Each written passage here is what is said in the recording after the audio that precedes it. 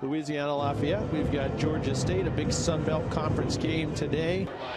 Second down and short. And we'll run it around the right side. This is McGuire, turns on the Jets, and he's on. Look at that!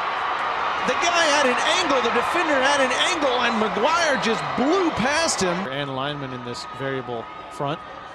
McLean drops the football, and it's still loose.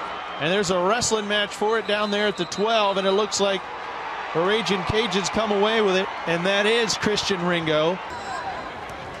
Broadway, and the handoff to McGuire. Did the ball come out? Georgia State says they have it. That officially qualifies as a conga line. You know that, right?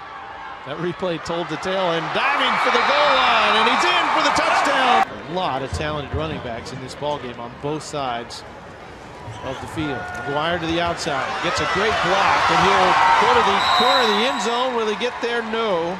First down and goal. You got four cracks of it from right here. Harris only going to need one. A touchdown, a one-yard run. Efficiently, decisively at the running back position. Out play action. Bell's going to go down the seam, intercepted. Picked off at the goal line. Broadway looking downfield. He's got a man who's got separation. Nose of the football. If it touches the 39, they've got it. They're not going to get him. Oh, Bell's out of trouble. He's got some green in front of him. He could have just run it. He throws it downfield. It's caught and a touchdown. Even though I like to dance a little bit in open field, that I can't plant my foot and get upfield. Great catch. That ball was just a hair overthrown, and Wilson's speed caught up with it, grabbed it on the run, and took it to the house. Where the corners had the angles, he still blew by him. We'll dump it off a little screen pass to McGuire. He's out in space, and we know what he can do when he gets there. He scores a touchdown. Fourth down and three. They need this, the 13-yard line.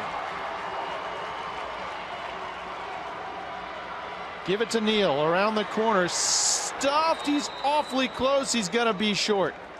That puts a lot of pressure on your DBs to cover guys. Broadway in trouble. He'll throw it to the end zone. Did he get a foot down? No, he could not stay in bounds. Well, you can see the front, they're active, forcing the quarterback outside the pocket. Oh.